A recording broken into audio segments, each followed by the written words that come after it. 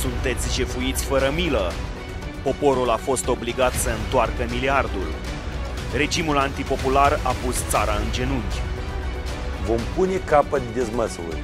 Vom face ordine în țară. Cu susținerea poporului voi semna decretul de dizolvare a Parlamentului. Parlamentul demis. Hoții și bandiții la dubă.